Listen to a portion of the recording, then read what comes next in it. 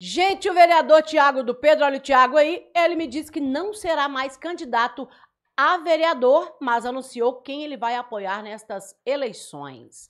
Abre aspas para o vereador Tiago do Pedro. Rosa, agradeço pelo contato, mas esse ano encerro meus mandatos como vereador e não irei me candidatar novamente. Com o coração apertado, é claro, pois depois de tantos anos sentirei falta, porque estar representando Capelinha como vereador é motivo de muita alegria.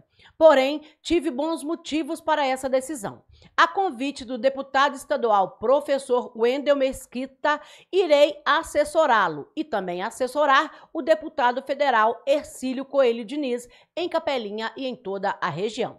O que eu posso dizer para as eleições municipais de Capelinha nesse ano de 2024 é que tenho um excelente candidato para apoiar, Cleuberson Frederico, o Fefe, vereador e atual presidente da Câmara Municipal de Capelinha.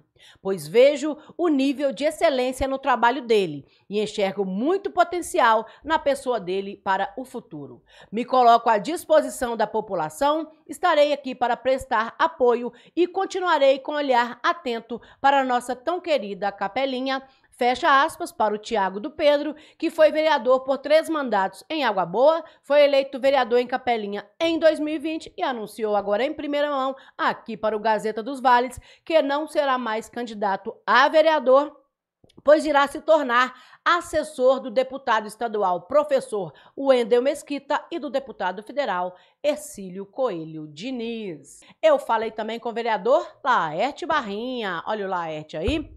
O Laerte é oposição política à atual administração municipal e a minha pergunta a ele foi a seguinte: vereador Laerte Barrinha, você também está entre os vereadores que colocariam seu nome para apreciação visando ser candidato a vice na chapa do Jonas Barreiro?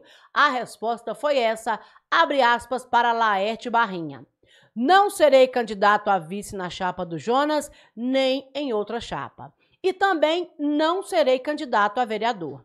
Encerro neste ano de 2024 minha vida política após 28 anos na área. Fecha aspas para o vereador Laerte Barrinha, que disse que, mesmo não sendo mais candidato, apoiará o grupo de oposição política ao atual governo nas eleições municipais 2024 em Capelinha.